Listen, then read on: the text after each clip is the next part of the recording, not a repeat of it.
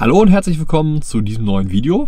Mein Name ist Lars Wilhelm und heute wird es die längste Dockertour, die es bisher gab, geben. Und zwar ist heute Donnerstag und ich werde über das verlängerte Wochenende bis Sonntag wegfahren. Und zwar soll es ins Allgäu gehen, genauer gesagt nach Oberstdorf. Der Vorteil ist, das Wetter dieses Wochenende soll nicht ganz so gut werden. Also morgen, Freitag soll ziemlich gut werden, aber Samstag und Sonntag soll nicht ganz so toll werden.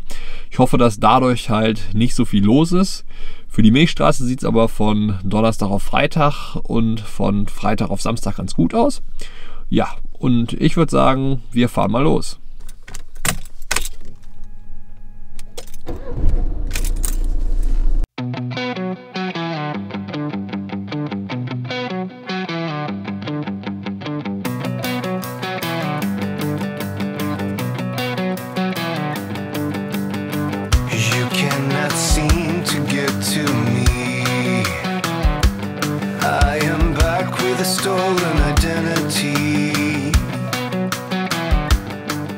Die ersten 200 Kilometer sind dann jetzt auch geschafft.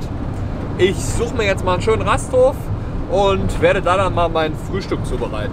You know I see through anything. I'm a one-man army with a bitter sting. Jetzt hier auf dem Parkplatz angekommen und jetzt gibt es erstmal Frühstück.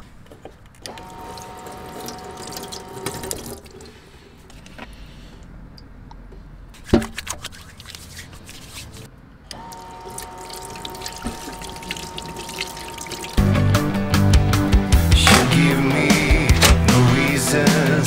I'm broken to pieces. There's no one who can.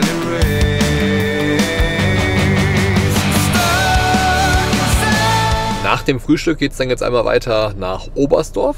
Es sind jetzt von hier aus noch circa vier Stunden Fahrt.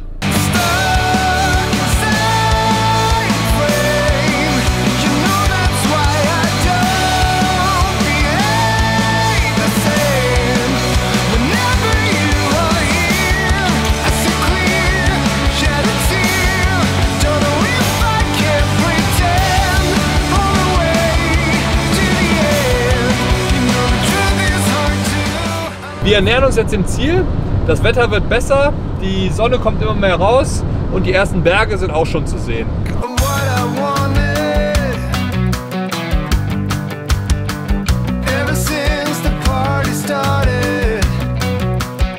Jetzt endlich angekommen hier in Oberstdorf. Und ich werde jetzt hier erstmal zum Freibergsee gehen. Das ist ein See, der hier auf dem Berg liegt. Das ist nicht so weit bis dahin. Und von daher bietet sich das jetzt heute Abend noch ganz gut an, bevor ich mich danach dann auf den Sonnenuntergang vorbereite.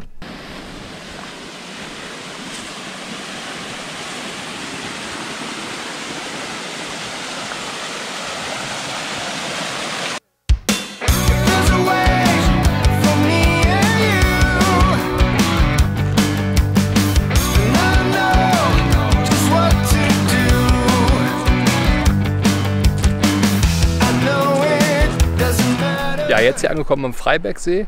Leider kommt man Corona-bedingt nicht mal wirklich ans Wasser ran. Hier oben sieht man noch einmal die Skiflugschanze, die rausguckt. Und da es hier sonst nicht viel Spannendes gibt, geht es jetzt erstmal zurück zum Auto. I'm broken and I'm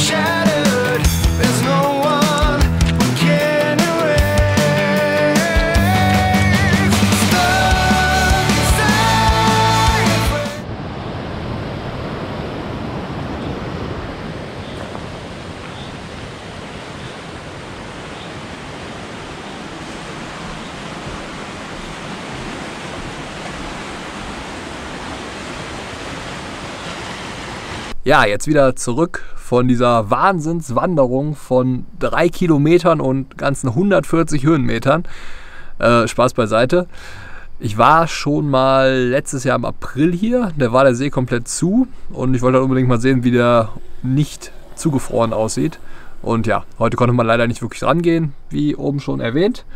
Ja, als Trost gibt es dann jetzt erstmal ein Müsli. You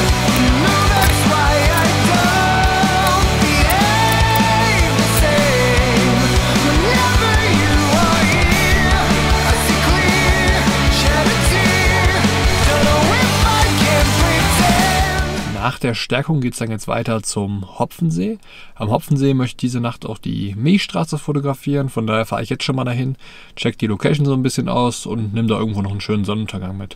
All the way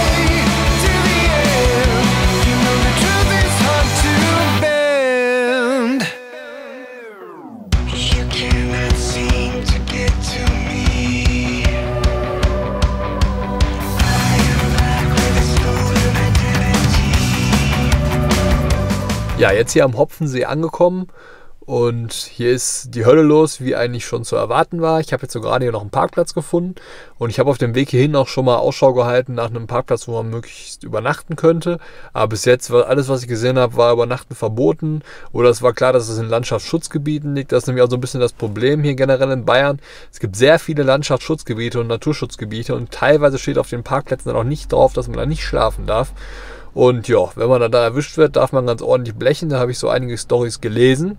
Von daher muss ich mir wohl gleich, wenn ich die Milchstraße fotografiert habe, nachts irgendwas Vernünftiges suchen. Ich habe hier so eine Karte gefunden. Da sind alle Landschaftsschutzgebiete drin und Naturschutzgebiete drin. Und nördlich vom Hopfensee ist eigentlich nirgendwo ein Naturschutzgebiet oder Landschaftsschutzgebiet. Und da werde ich mir irgendeinen Parkplatz oder irgendwas ähnliches suchen, wo ich dann drauf schlafen kann. Jetzt gehe ich aber erstmal raus und werde den Sonnenuntergang fotografieren.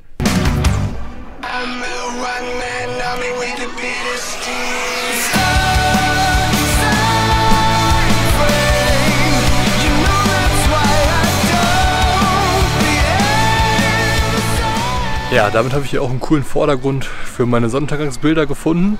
Und ich hoffe natürlich jetzt, dass die Wolken an den Bergen noch so ein bisschen von der Sonne angestrahlt werden und so für einen schönen roten Himmel sorgen.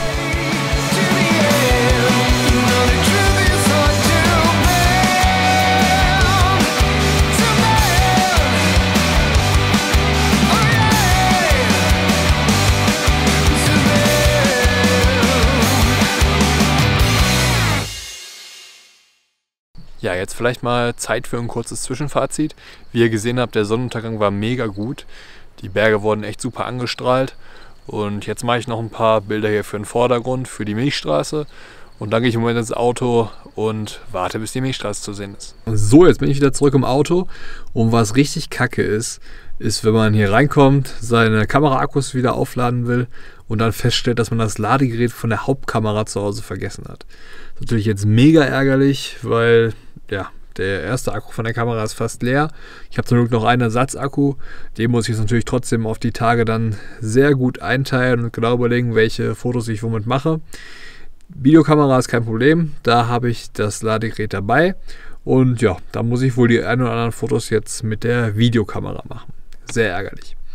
Nichtsdestotrotz geht es dann jetzt gleich raus, die Milchstraße fotografieren. Ich werde dann mit der Videokamera die Milchstraße nachführen und mit der Hauptkamera werde ich mal zwei, drei Bilder machen und ja, dann den Akku weiter schonen.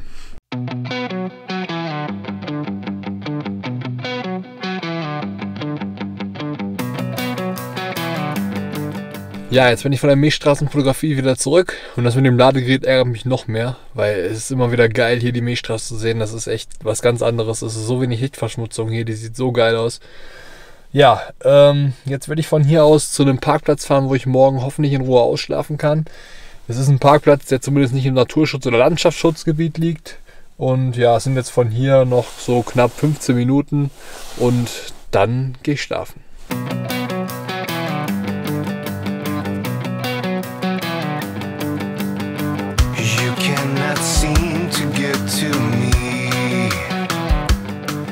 Guten Morgen. Ja, also ich konnte gut pennen hier auf dem Parkplatz. Gab auch nicht irgendwie Probleme oder sonstiges. Ich fahre hier nur ziemlich nebelig und dann, als ich hier ankam, standen hier, ja, ich glaube noch zehn andere oder so. Vorteil am Docker, man findet immer noch einen Parkplatz. Und ja, ich würde sagen, ich stehe jetzt mal auf. Dann fahre ich mal wohin, wo ich Empfang habe, weil hier ist wirklich null Handyempfang. Und ja, dann plane ich mal, was ich heute den Tag über so mache. So, jetzt bin ich hier mal wieder zurück in der Zivilisation und habe mal wieder Empfang. Jetzt wird das Bett erstmal abgebaut und dann Frühstück gemacht.